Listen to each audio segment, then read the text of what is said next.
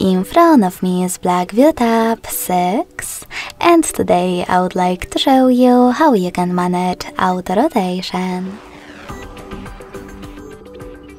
You need to begin by accessing tab menu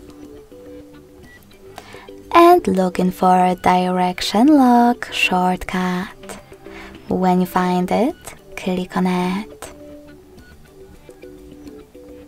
As you can see mine is now blue. That means that auto rotation is disabled. If you want to enable it, click on the same now blue shortcut.